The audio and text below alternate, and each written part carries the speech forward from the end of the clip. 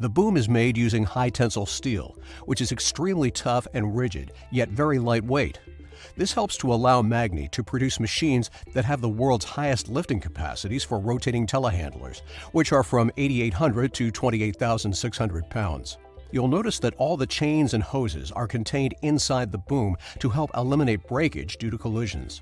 At the end of the boom is our patented quick fit system, which includes the shear pin housing and pin.